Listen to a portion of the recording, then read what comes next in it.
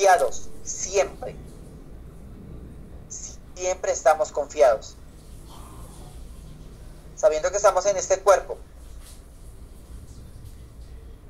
Y que estamos ausentes del Señor. porque dice que estamos ausentes del Señor? Porque en ese momento no estamos allá disfrutando de esos cielos, sino que estamos aquí en este cuerpo. Pero, pero mientras que estamos en este cuerpo, dice el Señor, confiemos en Él. Sepamos lo que Él quiere con nosotros. Porque los que pasaron a la presencia de Dios han sido muchos. Y han tenido que estar cara a cara con el Señor. Ahora nosotros que Dios nos ha dado ese privilegio de unos días más de vida, de muchos años más de vida, tomémoslo como algo maravilloso. Y digámosle gracias Señor. Porque aunque estoy en este cuerpo, Señor, todos los días tengo que estar en tu presencia, Señor. Clamándote, glorificándote. Dile, Señor, gracias. Gracias, Señor, porque sé que eres tú, oh Dios. Sé que es tu poder, Dios. Sé que es tu gloria, oh Padre. Porque he vivido confiado en ti. Sé lo que tú harás. Sé que tú te glorificarás. Sé que tú obrarás. Dile, Señor, porque es tu poderío, Señor, en mi vida. Y que cuando tú haces, Señor, te glorificas. Eso es lo que Él te dice ahora. Tienes que estar confiado aunque estés en ese cuerpo. Tienes que buscarme aunque estés en ese cuerpo. Aunque parezcas ausente de mí, no estás ausente. Por eso tienes que estar buscando de mi presencia. Porque me parece que este cuerpo estuviera ausente. Te preguntas, pero ¿por qué este cuerpo hace cosas que no debe hacer?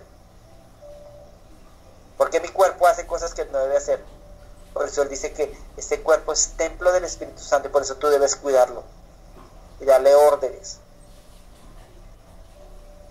¿Cómo le das orden?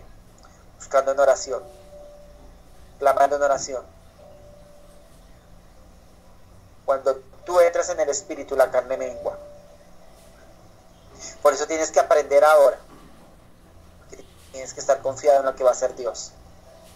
Dice, confianza tienes que tener en mí. Dice, tienes que estar qué? Confiado. Dice, confía en mí. Tienes que estar confiado en lo que yo hago. Versículo 7. Porque por fe andamos, no por vista. Oiga lo que dice ahí. Dice, por fe andamos. Dice que por fe qué? Andamos. No por vista, no por lo que veamos, no por lo que esté sucediendo, no por lo que esté pasando. Es un versículo tan pequeño. Es un versículo muy corto. Pero dice, no andamos porque por vista, por lo que vemos, Ah, pero mire lo que está pasando, mire lo que está sucediendo, mire que esto, mire que dice, no anden por eso, anden por fe. Ah, mire que a este sí, mire que a mí no, mire es que a mí esto, mire es que no, anden por qué, por fe. No anden por qué, por vista.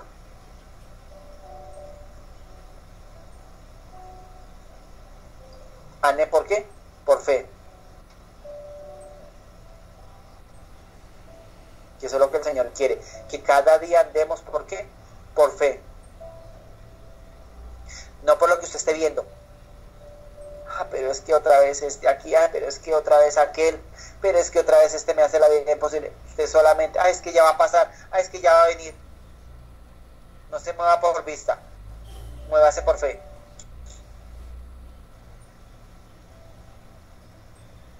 Porque si usted se mueve por vista está grave.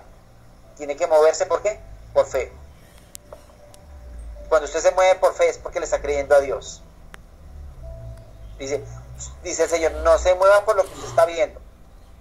Muévase por lo que yo le he dicho y créame.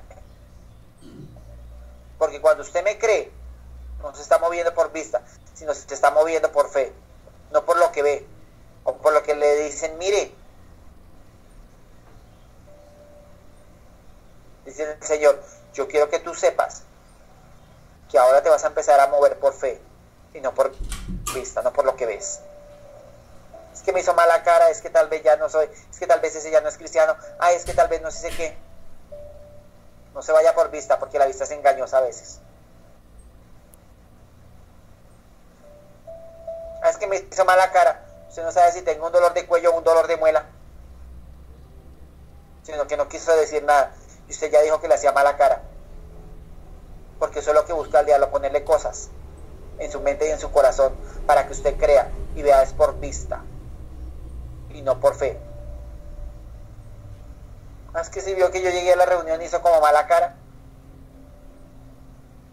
Esto es lo que hace el enemigo para que para alejarlo. ¿Se da cuenta? Usted va a lo que va. Usted va por fe. No por lo que le digan. Sino por esa fe que Dios ha puesto en usted. Esa fe es creerle. Esa fe es saber lo que va a hacer. No por lo que está viendo, sino por lo que está creyéndole a Él.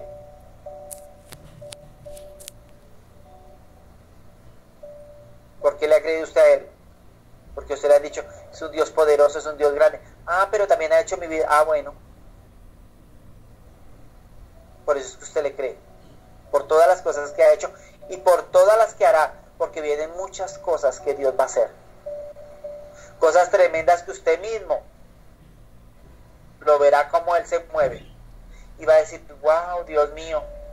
Y yo me acuerdo cuando esto, yo me acuerdo cuando aquello, y me acuerdo cuando me pasaba, y yo me acuerdo cuando yo era rebelde, y yo me acuerdo cuando decía, pero ¿cuándo? Y yo me acuerdo cuando le preguntaba al Señor, pero Señor, muéstrame, dime cuándo. ¿Cuánto es que me dijeron? ¿Cuánto tiempo ha pasado?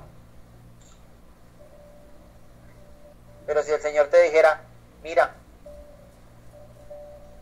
mira ahora, mira cómo estabas antes. Si el Señor te dijera eso, mira cómo estabas antes.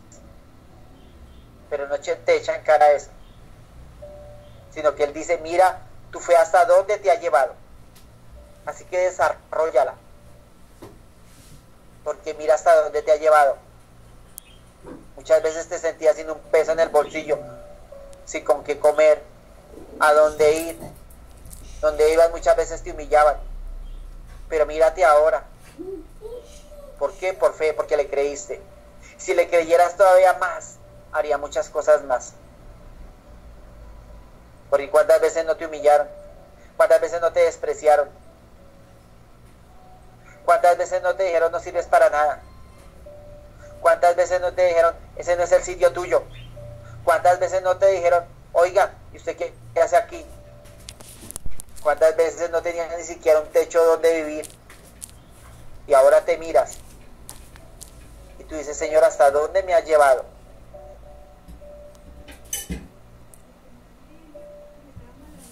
te ha dado un techo, te ha dado una cobija, te ha dado una cama, vestido. Así como le dijo el Señor a aquel hombre, tu ropa nunca se envejecerá.